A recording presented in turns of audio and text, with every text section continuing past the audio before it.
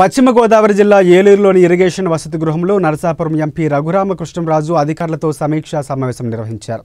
పశ్చిమ డెల్టాకు నదీ జలాల తరలింపు కోసం అధికారులతో మాట్లాడుతూ వివరాలను కనుక్కున్నారు. ఈ విషయంపై అధికారుల దృష్టికి తీసుకువెళ్ళి సాధ్యమైనంత త్వరగా పనులు పూర్తయ్యేలా చేస్తారని తెలిపారు.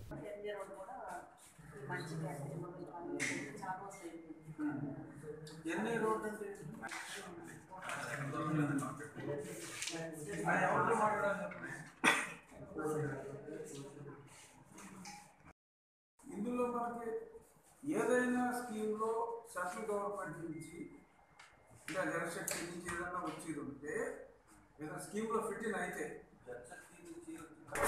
ఆర్ఎండ్బి జిల్లా స్థాయి ఎస్సీఈ అందరి అధికారులతో చర్చించడం జరిగింది.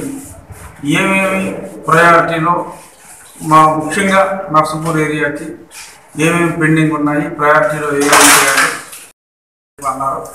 ఆ నవంబర్ నాటికి మొత్తం కాంట్రాక్ట్ అంతా ఫైనలైజ్ చేసి వర్క్ స్టార్ట్ అయ్యి త్వరితగతిలో పూర్తి చేసేలాగా కూడా ప్లానింగ్ చేయడం జరుగుతుంది. ఇంకా ఇరిగేషన్ శాఖ వారితో ఆ డ్రైనేజ్ మోడర్నైజేషన్ అనేది ఇప్పటి నుంచో పెండింగ్ ఉంది. చాలా ఒకసారి అనిల్ కుమార్ గారిని ఇరిగేషన్ మినిస్టర్ గారిని కూడా వారిని జిల్లాకు ఆహ్వానించి వారితో ఒక సమన్వయ మీటింగ్ ఒకటి జరిగింది.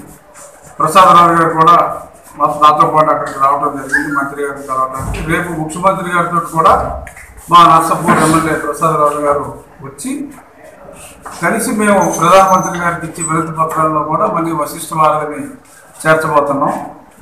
ఎట్టి పరిస్థితుల్లోనూ వశిష్ఠ వారధి అన్నదాన్ని ప్రెస్టీజియస్గా తీసుకొని అతి త్వరలో ఆ గవర్నమెంట్ ఆఫ్ ఇండియా స్కీమ్లో దాన్ని కూడా యాడ్ చేసాము వీటి మీద మా ప్రణాళిక ప్రకారం త్వరితగతిన కంప్లీట్ చేయడానికి మా శాసన సంవత్సరాలు గుర్తించి చేస్తాము అని చెప్పి మాట ఇచ్చాము. వాటిని చేయడానికి ఒక అడుగు ముందు వేసాం రాబోయే రోజుల్లో డెవలప్మెంట్స్ అన్ని కూడా మళ్ళీ మనం కలుద్దాం ఫ్రీక్వెంట్గా కలుద్దాం. మీ ద్వారా కూడా తెలియజేస్తాం. Thank you